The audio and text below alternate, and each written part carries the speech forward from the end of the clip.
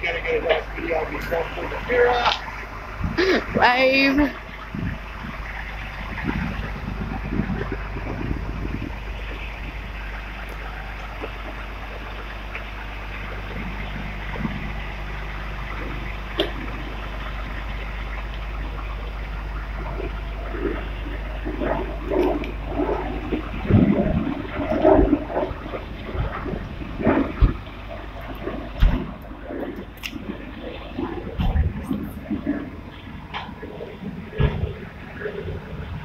what I would